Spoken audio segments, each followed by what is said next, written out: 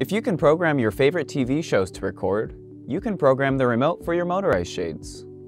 Today, I'm going to show you just how easy it is. Once your shade is installed properly according to the installation instructions that came with your product, we're ready to begin the programming process.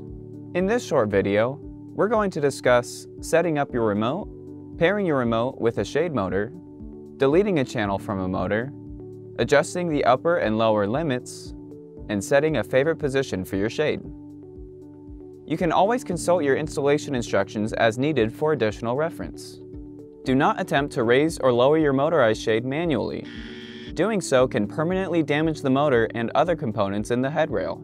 If you're unsure which channel or remote your shade was programmed to, there is a tag with this information located on the back of the shade at the bottom. Throughout the programming process, your shade will respond with one or more jogs, which are quick up and down jolts. This means your shade motor is successfully communicating with your remote. The first step will be to insert the lithium battery into the remote control. With the back of the remote facing you, slide the back cover off and set the battery into place. The positive side of the battery should be facing toward you. You will see five buttons on the front of your remote control. Up, stop, down, channel increase, and channel decrease. On the back of the remote, there are two more buttons we'll be using. C for confirm and L for limit. Your remote can operate up to five shades separately, using one channel per shade. The five channel lights at the top of the remote indicate which channel you're currently operating. To change channels, press the channel increase or channel decrease button to toggle to the left or right. If you want to operate all five channels simultaneously, increase or decrease the channel until all five indicators illuminate. Press the up button to raise the shade. Press the stop button to halt the movement at any point. Press the down button to lower the shade. Let's now discuss how to pair your remote with a specific shade. The following steps are only necessary if you want to change how the channels are configured or if you're adding a new shade to a remote already in use. Set the remote to whichever channel you want to program the shade to. Then, disconnect the motor cable from the battery on the shade itself. The next step needs to be completed within 3 seconds. Quickly plug the motor into the battery on the shade and then press and hold the C button on the back of the remote. When the shade jogs, you'll know the remote is paired to the channel you've selected. If your shade didn't respond with a jog, consider having someone help you with this step or you can repeat this step more quickly. Now let's discuss how you delete a channel from your shade's motor.